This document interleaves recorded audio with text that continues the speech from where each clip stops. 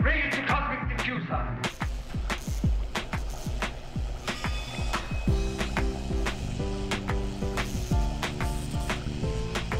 She's alive. Alive! Please give a warm welcome to the hosts of The bride of Alternate Ending. Hello, ghouls and goblins. Welcome back to Bride of Alternate Ending. I'm your co-host Brennan Klein. I'm here with who the fuck are you? Tell me who you are. I am Timothy Brayton. Hi, Tim. Um, th- so this is our second episode of November, everyone. Happy Happy November. I hope everyone's looking forward to Thanksgiving. Um, yeah, it, it's it's been a bit of a, a wild time over here. I was sick. I lost my voice, which is why the other one got delayed, and it's kind of cascaded into a whole domino effect. We're we're trying to get back on uh back on board with everything before and the end it was of the year. it was it was perfect because then I got sick and uh and here we are with our first of 3 December episodes. Yeah, so you know, really, it's our holiday treat to you. Is the three episodes just like Hanukkah when they thought that the oil wouldn't last eight days? Like we have, we thought there were two episodes and there's three episodes. I love that. Thank you. Um, happy Hanukkah, by the way. We are recording this during Hanukkah for anyone who celebrates. Um, also, there's Christmas and all those other things that you've heard of. Um, but my fa- my my new phrase that I'm going to use. Um, I was watching the. I, I mean, not on purpose. It was for work.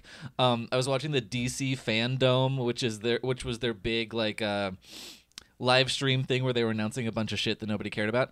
Um, and they said gift giving season is coming up.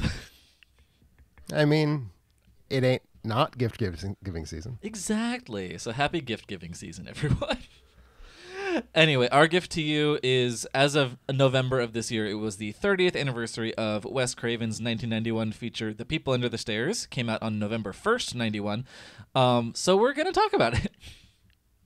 Yeah, we're, we're going to be uh I believe potentially making a little little Wes Craven mini event for our December podcasts, but uh we'll we'll get into those details later as we need to. Yes, we will. No spoilers. I mean, we will probably at the end.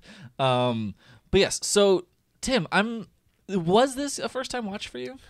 It turns out that it was not. Uh, I apparently watched this film in August of 2014 and formed zero memories of it. I, as I was watching and as these images were unspooling in front of my eyeballs, I had no, they were triggering no experience for me, and yet, clear as a bell on on the list that I use to chart when I see movies, August 20th, 2014. So, uh, so apparently I have, but I'm not going to count it as such. Okay. Well, th- that that is the movie. Did you find? Like okay, so looking back on the fact that you completely forgot watching this movie, do you find that to be something that makes sense, or are you shocked that you completely forgot you saw it?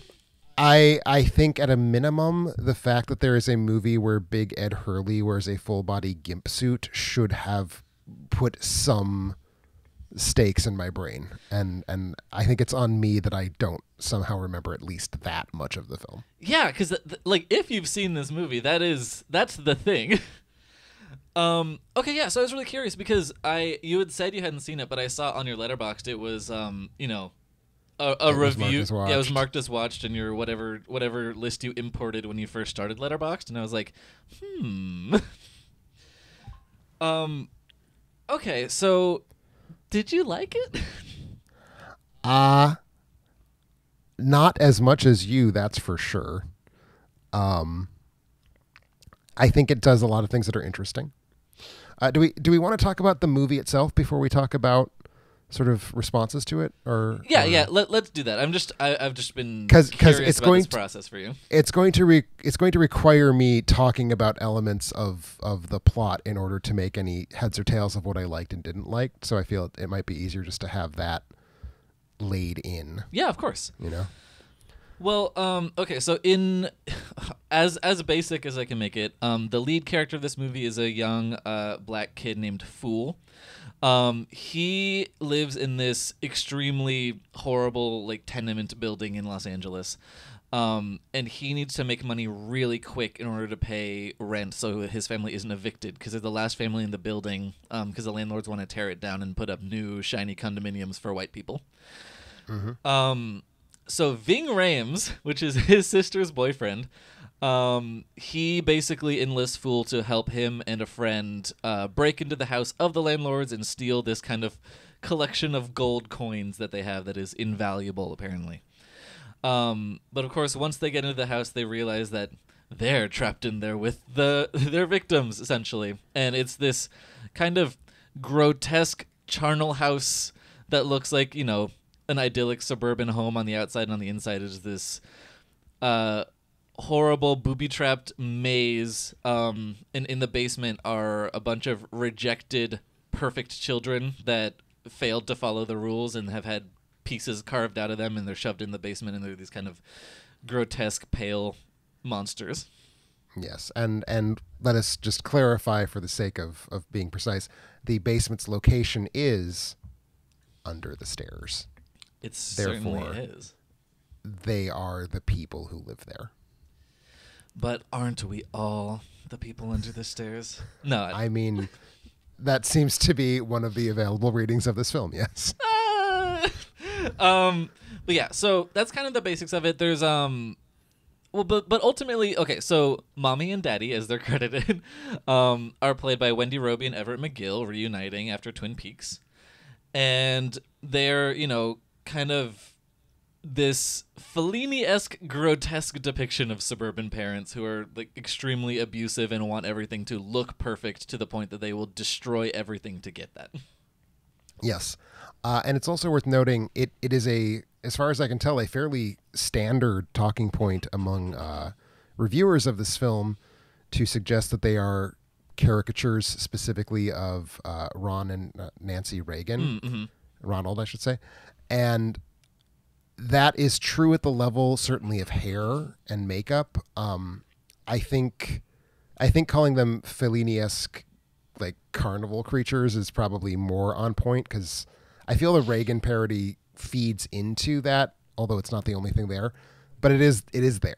So I think it's it's at least worth sort of acknowledging that that's clearly there's satire going on for sure. Yes. There's lots of satire going on, uh, but that is one tendril of the satire. Oh, absolutely. Um, but yeah, I mean, for for me, like it is. This movie is specifically entrenched in that, but it also, it, it, it's very much speaking to kind of a, a broader theme that exists throughout Wes Craven's work, which is the dichotomy between, like, just basically like exposing the skeletons in the closet of the idyllic suburban home Right. Um like you know the the the one film or one of the films that I, I think you can unabashedly support by Wes Craven because I love him a lot more than you seem to. Um in A Nightmare on Elm Street it's the same thing. It's you know the the sins of the parents falling on the heads of the children because they like all of these supposedly, you know, perfect houses on Elm Street are are owned by these people who murdered Freddy Krueger and are, you know, he's getting revenge and so on. Right. And even even if you go back uh, as far as his, his sort of big two grindhouse era Oh, yeah. hits where he made his name, Last House on the Left and, and Hills Have Eyes, uh, those are both in their way about the the extremely slender thread that holds together nice suburban people from being just like murderous animals in, in the right circumstances. Yeah, and and uh, okay, I, I mean, I wrote a whole essay about this, but um, basically, like Last House on the Left and The Hills Have Eyes both um pit a you know an idyllic like nuclear family against this kind of grotesque mirror version of themselves, Right. And reveal the grotesquerie within the supposedly quote unquote normal family. Um, so yeah, this is something he's been doing since the beginning, and so I, I I was kind of viewing it through that lens. But yes, this particular entry is very specifically mired in the Reagan era trickle down politics of it all. Oh, absolutely, absolutely. Very, very clearly an economic based horror film. Uh, apparently, there was a time when Jordan Peele sort of had circled this as being something he might be interested in remaking, which feels extremely explicable, like very much tapping into themes of uh, economic oppression, how that intersects with racial oppression, um, sort of communities being turned into commodities by the people who who have like the money and the power over them. Yeah, absolutely. I, I, and I, I do think that this film, I mean, this film has two primary functions, um, or that it succeeds in. Um, and one of them is in being that kind of text that's delivering that s- story and that theme. Um, the other one is to be this kind of unmitigated cartoon nonsense machine. Yes. um, Yes. And note, please note that the the way that it is not fully functioning is perhaps as a horror film. Um, it has moments within it that I think are good at horror. Uh the moment so so the the evil, horrible, scary Reagan type mommy and daddy have uh a Rottweiler. And at one point the Rottweiler brings a like mutilated severed hand to them. Great moment. Really, really freaked me out a little bit. So there is there is horror within this film. Yeah. For sure. There's definitely gore within this film. Okay, well, the the thing about this film though is that th- there certainly is gore, but it is extremely ill-conceived gore for the most part. Like most of the gore and the makeup effects of the titular people under the stairs is not particularly well done. There is a just shockingly poor moment, and I, I don't know if this goes quite far enough into the film to be a spoiler, but I'll, I'll avoid putting details just to be safe. Uh, so they, they, they take the, the, the children who misbehave, they mutilate them, they throw them under the stairs.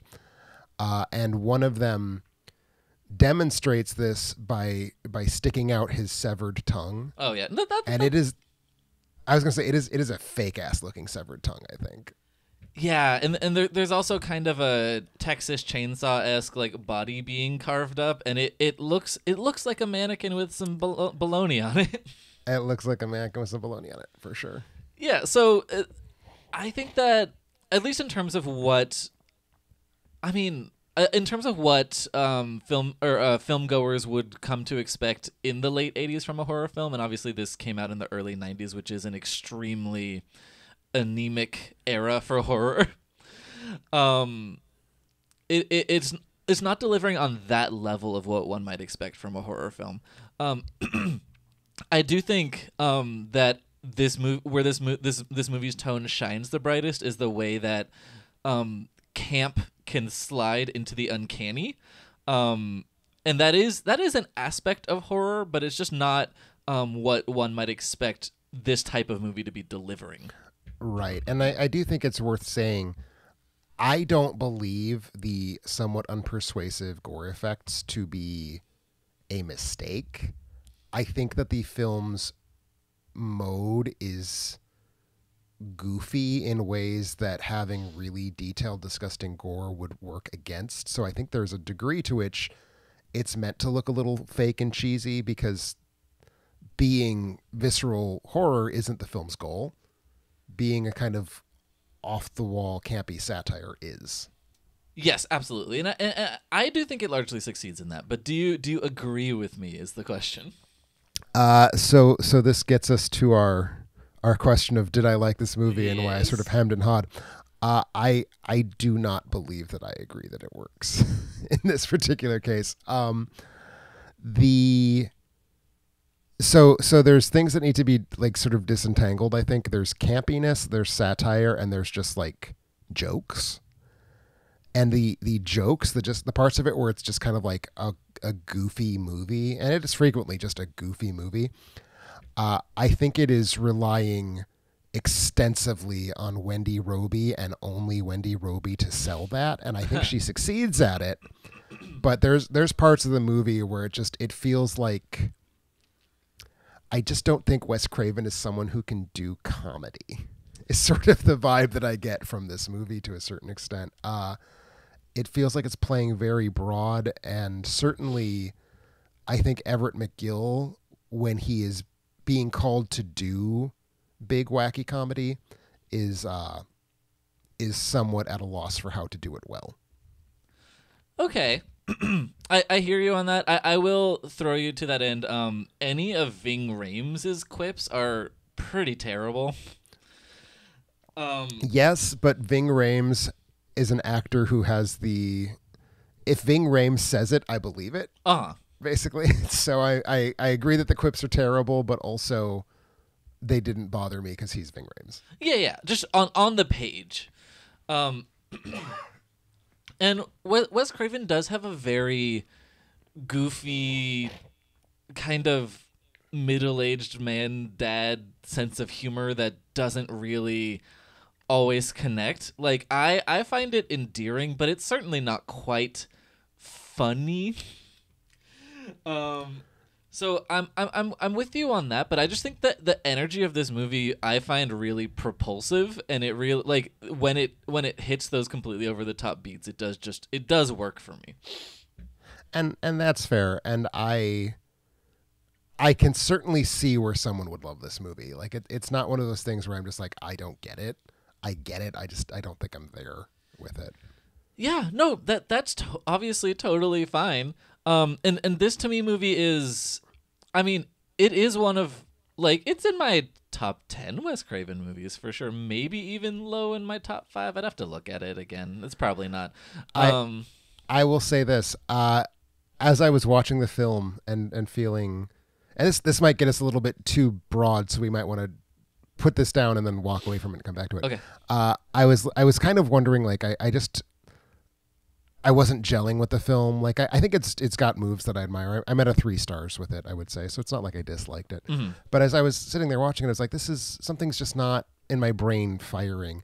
So I decided to to after the movie just throw together a real quick um uh, ranking of Wes Craven's films. Oh, great. I have seen I have seen 15 of his features, and I can say that I do have this in, in my Wes Craven top five. Uh, I can also say that top five is the number of Wes Craven films that I have a positive response to, and the remaining 10 are all films that I, to some degree, don't like. So I, I think I just don't like Wes Craven. Yeah, and and that that is something that we know, or at least we we know, like fundamentally, like the the kind of backbone of his career is the Scream franchise, which you do not have very much space for in your heart. Um, and I am the opposite, so we kind of are coming at him from two different directions. Um, Well, I think what what threw me about making that realization, and I I I just kind of realized it last night when I was watching the film. Uh, I love, love, love, love, love The Hills Have Eyes. I think it's a fucking masterpiece. And it feels like if you love, love, love that movie, you have to love Wes Craven because that's one of his weird, prickly, hard to deal with movies. Uh, and so I, I want to like Wes Craven because because of that movie, but uh, but I don't know. I just a lot of his stuff I'm just not not doing anything for me. yeah, no, that's totally fine. Um, well, I mean, obviously, sorry. Um, yeah, so I'm curious what your top five are, like on this list that you have. Well, let me uh let me pull that up because because I wrote it down because I don't ever create top ten lists that I don't write down. Of course. Uh, so my top five, with with I think some wiggle room in the ranking, but not the films. Uh, Nightmare on Elm Street, Hills Have Eyes, New Nightmare, and uh, Red Eye uh, above People Under the Stairs. Oh yeah. Um, with the exception, Hills Have Eyes, I don't love um personally, but yeah, I would definitely have, you know, New Nightmare, Elm Street, probably Scream and Scream Two, and Red Eye, just off the top of my head above People Under the Stairs. Like I think this is a B plus tier Wes Craven. Um, for myself. Um, but I, I do think that there's a lot of interesting stuff going on in this movie. Like I I, I- I think obviously I can swallow that kind of like energy a lot easier than you found yourself being able to. But I, I think that there's something in the the way that it like that that kind of camp and intensity interacts with the theme. And i think it works the best in the this is semi a spoiler so we might uh, you know put a little marker on it. If you want to see this movie go see this movie.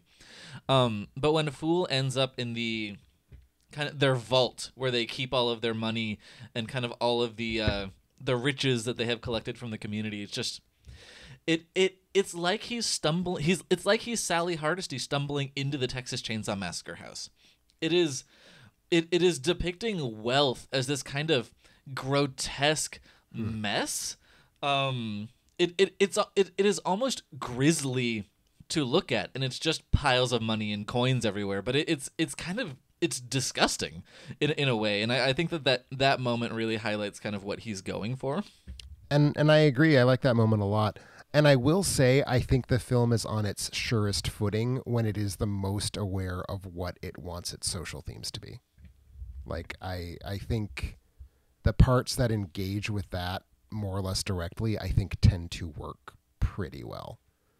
Especially because I think those are the parts of the film where where Ving Rhames gets to do the most heavy lifting in some cases. That is also true because like you, you do get to see a little bit of you know what what life is like outside of this suburban house, and that is where Ving Rhames gets to shine the absolute most. Um, and this is certainly the best of the movies that deal with black themes that Wes Craven made. The Vampire in Brooklyn is the worst. um, Vampire in Brooklyn is one I have studiously avoided. I think okay. Well, I mean, you, you can't trust me on on this, but I think Vampire in Brooklyn is better than its reputation, although it is still not very good. it could be better than its reputation and still be horrible for the record. Yeah, but it's it look it stars Angela Bassett. Um, I mean, that's true. That's very true. so that really helps. Um, although Eddie Murphy does do his his his thing, even though, like okay, I'm not gonna talk about it. Um, there's there's some interesting stuff in that movie, but if you don't like Wes Craven's humor, you're probably gonna eat less like that. Um, Serpent in the Rainbow is quite good. The other movie that he made about um voodoo rituals in Haiti, but th- this one is the most specifically, you know, Jordan Peele esque that is thinking about what's going on in society and like at least actively uh ruminating on that throughout the film. Um uh, you know and, and the the hit rate is how you view it. And yeah, and I I I don't want to to come across as like I just don't have any any patience for the the film's like satire or even its campiness. Um I think when it lands, it works really well for me. Uh again, I think it lands generally speaking when it's set when it's outside the house, I think it's good. Um I, I think its most serious moments, generally speaking, work for me. Um I guess a, I just I think a big part of it is I, I just find the characterization of mommy and daddy so broad. It's it's not aiming at a target. It's just kind of like like wailing away as hard as it can at sort of the concept of Reaganomics in a way mm-hmm. that that feels it just it feels a little bit too big and I think it, it would benefit I think it would benefit the satire from from sort of narrowing its focus. I I think it would certainly benefit the characterizations and Everett McGill, certainly. Uh, And I, I just there's there's moments like when he's in the gimp suit is one thing like that's kind of a deliberately shocking, provocative moment. But like there's a thing where he's like waving a rifle up and down and he's really excited because he thinks he just shot someone. And I don't know if it's what Craven was having McGill do or if it's what what McGill was just sort of generating himself. The moment just felt too goofy to me to to do anything. Like like I don't know, not even campy really, just kind of like silly. Yeah, and okay, I I hear you. Okay, uh, let me draw connections because for me, th- this performance is delivering. Well, I mean, it, it's kind of delivering what Matthew Lillard is doing in Scream. Um, like this kind of extremely broad cartoon character performance, and I I love Matthew Lillard's performance in Scream. Um, but it's also kind of applying that to the kind of shrill like dinner party scenes at the end of like any Texas Chainsaw movie where it's just it's kind of a battering ram um but perhaps uh Wes Craven's battering ram is less powerful than Tobe Hooper's battering ram so it kind of uh is watered down a little bit And and it's it's hard to say because because the battering ram in Texas Chainsaw is it's clearly the best time that it ever worked for Tobe Hooper as well. So yeah exactly So it's it's we don't want to compare movies to Texas Chainsaw Massacre because many many of them don't don't survive that comparison. exactly um I will Okay, I will yeah. say I think one one of the other specific things that I think I get a little hung up on, and this is me. Um so you tell me I have here this campy satire about how the suburbs are actually full of depraved people doing horrible, exploitative, violent things. And it stars Everett McGill and Wendy Robie. and I say, "Aha! I have also seen Twin Peaks," and I think I just vibe with Lynch's version of this so much more naturally than I vibe with Craven's version of it. And I think a big part of it for me was just like the presence of those two actors made it too hard for me to drop out of but I could be watching Twin Peaks Got it. mode. No, that's totally fair. And I mean, I've I've seen the first season of Twin Peaks, but it's not something that ever lived in my heart because I saw it as a kid and I just wasn't mm. Wasn't ready for what David Lynch was doing. yeah, as, as I think I'm literally on record on the site saying Twin Peaks might be my favorite television program. So Yeah, so it it's Yeah. just it, it has no choice but to pale in comparison to that. Although I, I, I as you said, I do think the movie lives and dies on the strength of Wendy Robie's performance Oh, because I do I- think I do. she is a genius. Yeah, no, I, I will say, um, I, I think I'm out of three stars with the movie. As I said, I would not be without Wendy Robie in it. She is she is holding the villain half of the movie together basically just by her screen presence. Yeah, and my god, I mean, for me, the most compelling horror moment of that is when she's uh, giving her daughter Alice a bath in that steaming, boiling bathtub, and Yes. she's just this shrieking, harpy creature that she turns into. It's it's really, it is a an incredibly disturbing turn from her. It is, although actually I think my favorite moment in her performance is is a sort of weirdly low key one. Uh, it's towards the end, and again, it's going to be a bit of a spoiler.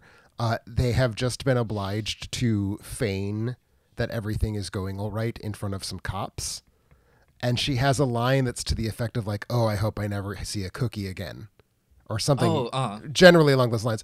And the the just like she pulls it so far back into just you know like a woman who's been scrubbing the floor for the last two hours and just saw another fucking piece of mud on the floor. Like it's not big, it's not campy, it's not like this kind of histrionic moment.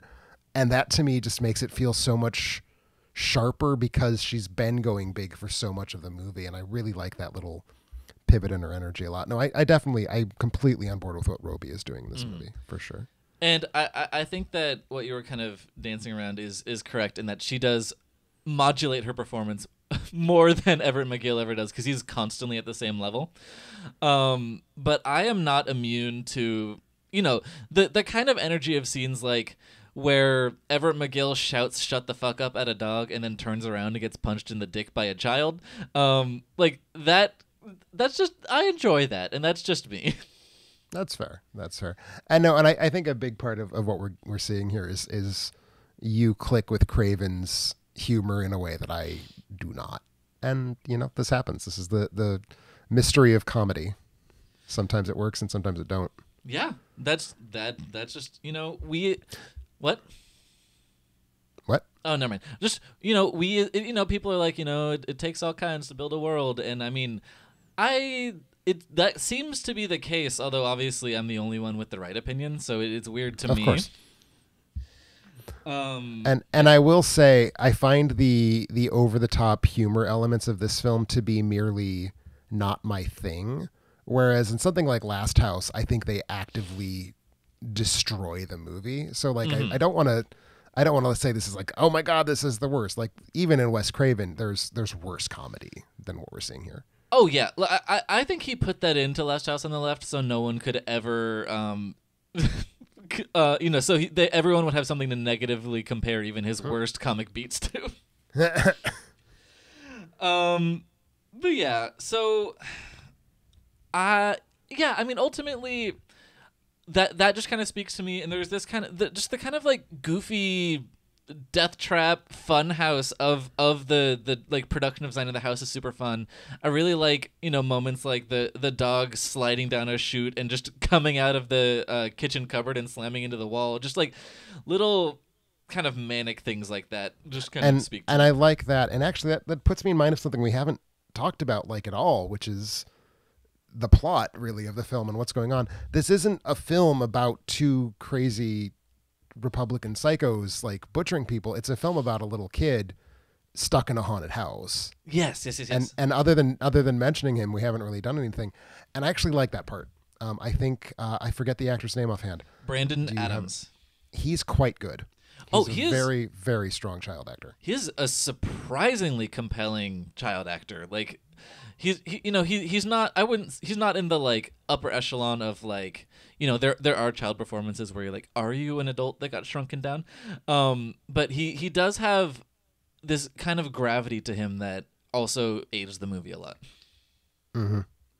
Um, I, I think that's for sure part of it. I also think that there's just a, I mean, it's an R-rated, very gory, very in some ways fucked up movie, but it has a kind of Goonies vibe in a lot of ways, where it feels like an '80s kids adventure when you see him like going in and out of all of these secret passageways, and as you say, like there's a scene where a dog shoots down a slide, but there's also this like supremely ridiculous moment towards the end that I think does not work, but at the same time it does not work in a very charming way, where he's uh he's in a uh, chimney, and he slides down the chimney to try and like land on on uh, mommy's head, and the the editing completely fails that moment. Like it, it doesn't look even the slightest bit real, but there's a kind of like we had 30 bucks and we thought we could make it work level that feels like the right energy for a sort of silly kids movie. So it feels almost like he's the protagonist of this like funky kids film wedged into this weird Wes Craven-y grindhouse film about like mutilating children. And and I like that part of it. I like I like the set. I like him interacting with the set. I like him sort of skulking around this this haunted looking house that's like dark but not so dark that it feels like an actual again because it's not really doing horror as we touched on so so the cinematography is a little bit bright but i think that kind of gives it more again of that kids movie vibe Yeah, and, and, and speaking to that, like it, it also does kind of have this fairy tale quality too, where there there's not a lot of specificity to the characters. Like it is kind of a like this is mother, this is father, and then this kid is just trapped in this, you know, funhouse mirror version of a family. Um, it's very Hansel and Gretel too. yeah definitely i mean the fact that there's like a a secret basement under the stairs where the bad children are, are prisoned that's a very fairy tale Yeah, exactly. And and then also speaking to the the Goonies adventure of it all, that that uh kind of that trick that he pulls on Everett McGill in the uh the vault room, um, where he's trying to distract him from uh realizing where the where he actually is. So Fool has kind of jammed these gold coins into a candle, and as the candle melts, the coins fall and make a noise. right Um, and that kind of you know in, ingenious kid booby trapping and whatnot. I mean, it goes to it goes to Home Alone. It goes to a lot of like that kind of that kind of filmmaking.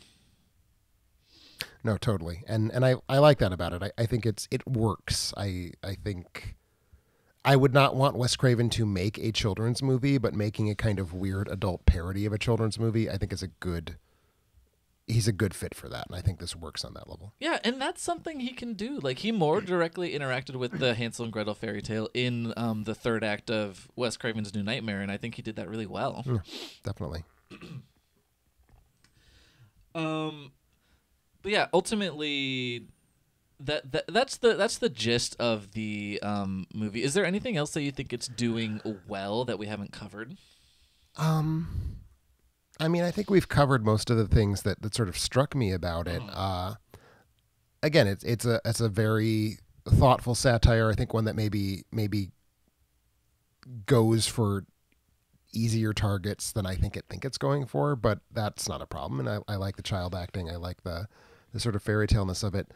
Um, but certainly, I, I know you have you have much stronger opinions about this film than I do. Uh, do you have anything that we haven't touched on that you really want to make sure we, we sort of look at? Um. Well, uh, sure. Uh, actually, uh, uh, this I don't think is like particularly strongly tied through the movie as well as in other pieces that Wes Craven has done. But I, I, I do think that the opening credits sequence is very compelling. Um, it Yes. features um. Fool's sister, who's played by Kelly Jo Minter, who's the the she was in Elm Street Five. She was the the girl on the diving board that kind of turns into a hand like a claw. Um, she is delivering a tarot reading for Fool and basically kind of laying out the idea that he is a fool because he is unlearned and, unlearned and hasn't like you know learned about the world yet, and he's gonna go on this adventure and kind of trip into like learning about himself in the process of all of this. And I, I- I think it's a very ominous and interesting opening. That does I, I don't think it gets fully delivered on, but I, I I really really like that, and I think it ties in with a lot of the mysticism of what Wes Craven does. You know, I, I liked the opening a lot. I, I think it does promise a slightly different movie than the one we get, but it's very, very cool. Uh, sort of reminds me a little bit of old things of um, Cleo from 5 to 7. Which Oh. I, I think we know that Wes Craven likes art cinema, so he's almost certainly seen this movie, especially given when it came out and, and how old he is. Uh, which also has this like very striking camera pointing directly down at a tarot reading sequence um, and I just I don't know I got the kind of the same same vibe of it. The the colors sort of hit me the same way. Uh, no, I really liked that opening. My my one reservation, the font used for the credits themselves Oh. is a real early '90s low budget horror movie font. But Yeah. that's that's it is an early '90s horror, low budget horror movie, so we cannot judge it for that. Yeah, but it, it that you're you're right. Especially the the title card. You're like, oh, you couldn't have uh, juiced that up a little bit. Yep. Couldn't couldn't you have used a serif? Yeah, Maybe. Jesus. Um, but yeah, so there is that. Um, and also I, I- I do think that especially the when you see the family interacting with um real outside people, specific like mostly the cops, um, th- there is a lot in the satire that I do think reads really well and would deliver on a remake. Um, like these, they they very specifically are playing people that I would encounter in the suburban neighborhood where I grew up. Like, except like we just live in the world of ring doorbells and next door and you know people being worried about package thieves or whatever um as opposed to like what's going on in 1991 Exactly. And and I do think I think a remake would actually be a very cool thing to see just cuz I I do think that satire is it's not what he's best at and I think someone who is better at it could maybe tease a little bit more out of out of that in a way that would would help the material. Yeah, I agree. Like I- like I've said, this this is like a B plus Wes Craven movie for me. I have a lot of love in my heart for it, but um, it it isn't like it, it can be improved upon. I wouldn't ever say like, oh, you can't touch the people under the stairs. Like there, there's a lot in there that could be really really cool, and um, sure. The last thing that I would say that I think is just a cool image um, is the pile of dead flies at the bottom of the windowsill because the house sure. is such a prison that not even insects or the bugs can escape. No, that's that's a really really good image. That's an excellent point. Mhm, So that that's cool. And then um, I mean, my last note that it's just we haven't covered at all is that I do think the score is kind of chintzy and crappy at certain points. It absolutely is. I think there's no doubt about that. But that, again, to me, is kind of at certain points in history and for certain genres, concessions must be made. It's a 90s horror film. And if its title isn't Candyman, a 90s horror film has a bad score. And that's just kind of that to me. Yeah, that's very true. Um, but yeah, so it it it it isn't necessarily exceeding the limitations that it has, but especially in the realm of what horror was in the early 90s with the Oh, exception totally. of Candyman, it is an it, it is an extremely exciting entry in that period. I mean, look at this in the context of of where the slasher film was, for example, at this point. It's clearly clearly it's better than that. Like like it's it's there's a lot of th- this is closer to being a peak of 1991 horror than a, a valley for sure. I mean, I'm looking at what came out in 1991. We've got what body parts, something called The Boneyard, Howling Six, uh, Ghoulies Go to College. I didn't know the Ghoulies went to college. Good for them. Oh yeah, they did. Um, you know, they get their BA. Yeah. Um, okay, The Silence of the Lambs did come out in '91. and and I had thought about that, and and I I think there's something that's cannibalism does not get a whole lot of play in American movies. How fucking weird is it that this movie and Silence of the Lambs came out the same year? That is a really interesting point. Yeah, it, yeah, it, it it almost never comes up. It's it's too taboo for us for whatever reason. Um, but yeah, no, that's really weird. And yeah, and then 91 just had a bunch of other franchise stuff. Omen 4, uh, Freddy's Dead, The Final Nightmare, um, and Child's Play 3, which I think is okay, but it's a bottom tier Chucky movie. It, it is it is my single least favorite Chucky film, and still not even close to the worst film you've just named. So No, no, no, I'd say it's, for me, number three of the year from what I just read off. um, and yeah, anyway, so yeah, especially like in the constellation of what was around, People Under the Stairs is a really remarkable film, even if it's not a complete success in every degree. Yeah, that's that's I think a very fair way to sum it up. Well, I, I think that's gonna do it, and and then you can uh you know erase that from your memory yet again, and maybe we can revisit in ten years and see if you've changed your mind. I mean, it didn't even take it only took seven years, so maybe we can Okay, come back in uh, in 2028. Exactly. We'll break a mirror and then we'll come back and watch this movie. Um, and once our bad luck has run out. Um, wow, that didn't make sense. Um, sometimes my jokes are great, and then other times they're not. Anyway, so I, I see the shape of the joke you were going for, and I approve of it. thank you so much. Um, see, the thing is, sometimes people in my life will say, "Oh my God, you're so funny," um, when I say a really good joke, and they don't realize that I've been telling jokes for the past thirty minutes, and that's the one that hit, and the other ones they didn't recognize at all. um, but yes, so thank you so much uh, for listening to this late November episode. Um, we're going to. I'm just gonna not make any promises about release dates for the next two episodes right now. I think that's a good call. Um, but the episode that we're coming up with, which I'm going to tell you what my my my vision. I'm trying to manifest when this is coming out. Um, I want this next episode to be out by the 17th um, of December, and our current recording schedule can make that happen, but things can change. Um, but anyway, the next episode we're covering is the uh, Christmas horror movie that was voted for on the Patreon poll. We're going to be watching 1989's Elves, which is, um, by all accounts, an extremely wild entry that I've never seen. I I have never seen it and had only heard of it when we when we put it down in the poll. So we'll see how how it goes. Yes, um, the, the, the plot description of Elves on uh, IMDb is longer than the plot description for the uh, Saragossa manuscripts, so Okay. it should be I very like interesting. I also like that that's like your go-to comparison is was this longer or shorter than the description of the Saragossa manuscript. I look, I, I, I, I think No, it makes sense, I all, get it. all cinema is in the same arena, baby. I know, I get it. I totally do. And and that's a that's a salient comparison to make. Thank you so much. And and as as Tim teased earlier, um, the for the second episode of December, um, we're going to be doing another Wes Craven anniversary because December 1996 is when the original Scream came out. So we're going to be watching Scream for its 25th anniversary. And uh, and to prepare ourselves for the re- the the release of Scream in January. Exactly. Um, which I'm very excited about. um, are you? I mean, we haven't. You know, I guess we'll we'll read your January preview, but I I think that the phenomenon of years later sequels does not have a high enough hit rate that I am inherently excited for it, but it will surely not be the worst Scream film. I think that that is already a guarantee.